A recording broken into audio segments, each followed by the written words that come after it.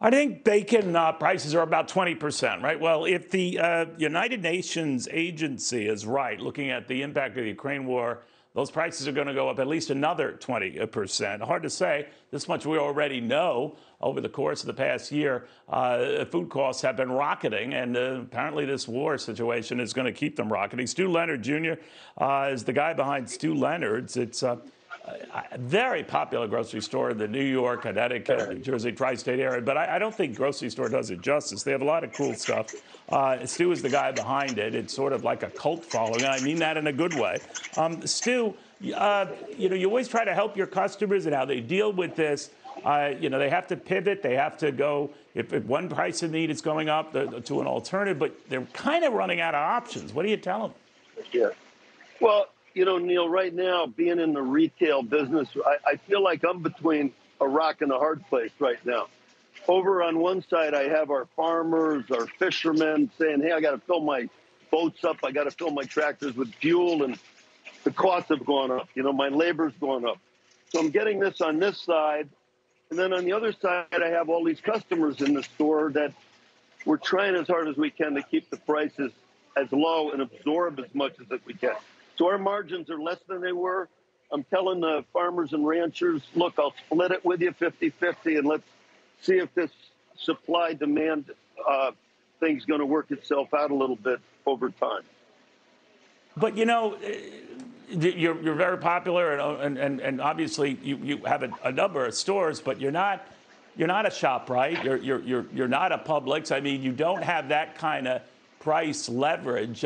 So how do you counter that? What, obviously, it's experience your stores, and there's a lot of neat stuff there. I've been in them many times myself. How do you deal with that to counter that?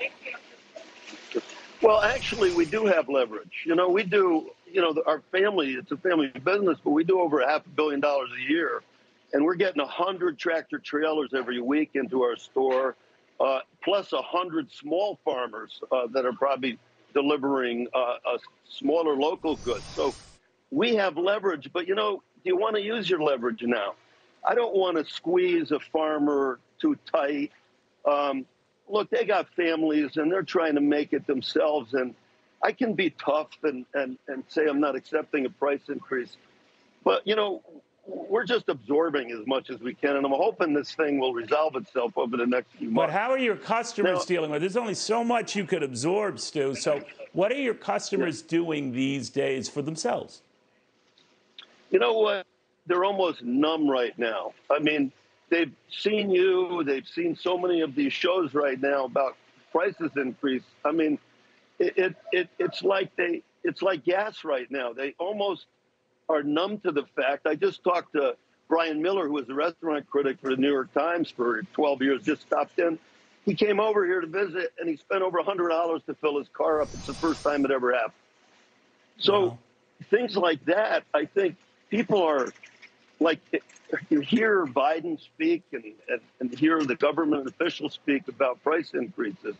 And I think everybody's, it's tough out there right now, but they're, you know, we're doing as little of it as we can, but but we haven't heard any complaints. Nor do I think you will. I mean, you really have their back, and and, and they're loyal. They're very very loyal. Um, uh, just don't get rid of the bakery products. If you even think of doing that, Stew, we're done. We're done. Yeah.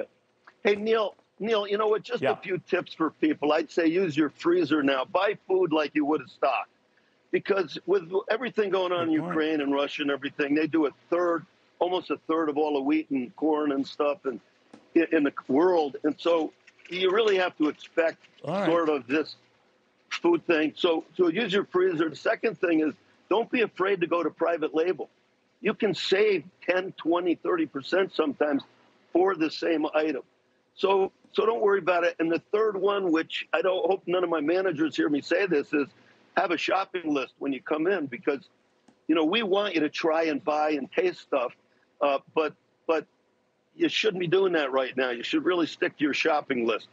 Now, here's one I'm going right. to try to do. Look at you'll love this. A new product at the store. Real Look quick, at it. Stew. Putin's punch. Oh my gosh. How do you like that one? You can't you can't freeze that one. Can't freeze that one. All right, Stew Leonard Jr. No, thank you, you, you very very much. No, you can't. You can't. And then I'm wondering about Napoleons. Can you freeze Napoleons? I don't know. All right. Thank you, Stew, very, very much.